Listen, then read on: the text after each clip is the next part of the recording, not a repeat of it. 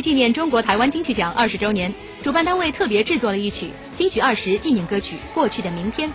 参与录制的音乐人包括 she 蔡依林蔡琴纵贯线等二十四组歌手主持过十一届金曲奖颁奖礼的陶晶莹也将开口助阵。